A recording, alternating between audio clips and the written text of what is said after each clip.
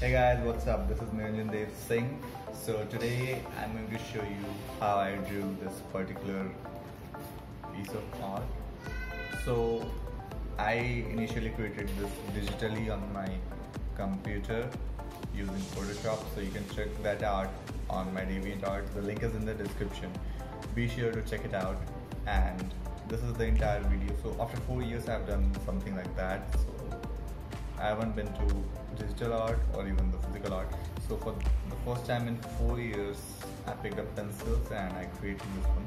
So one thing to note is that that particular digital art that I created on DeviantArt, it should be done using oil colors, but instead I used pencil colors to create this particular piece. So there are variations and the digital one is way better than what I created this one. So it's my first try after coming back to art so I'll be doing more videos and doing more arts. So stay tuned and after watching the video be sure to like the video if you like what any of the like digital one or this one. Just like it.